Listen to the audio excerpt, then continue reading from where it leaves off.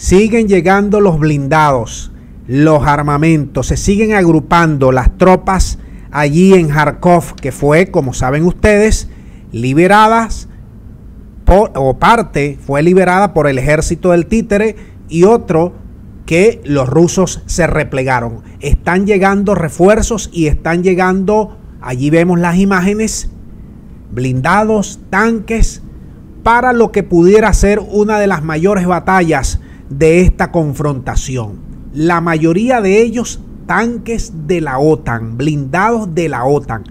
Ya la guerra pasó del títere comediante a la OTAN con los británicos, los polacos y el país del norte, con lo cual, con lo cual, ahí estamos viendo los cañones autopropulsados polacos y los blindados Humvee del país de las hamburguesas llegando a Kharkov para tratar de que esa pradera que fue ya conquistada o reconquistada no se pierda.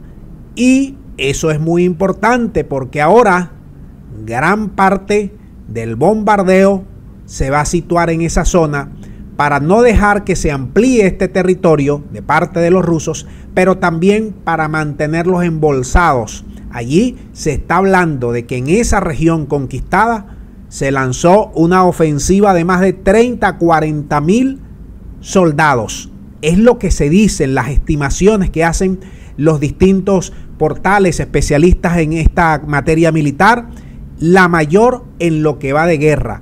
Y vamos a ver cómo hacen para resguardar y cómo hace la OTAN para defender estos territorios porque la tiene bastante difícil toda vez que aparentemente los rusos están avanzando en distintas líneas y van a retomar en los próximos días esta región que tácticamente todo indica fue dejada en libertad para luego contraatacar. Vamos a dejar el video hasta aquí. Espero conclusiones y respuesta de todos ustedes. Muchas gracias. Será hasta la próxima.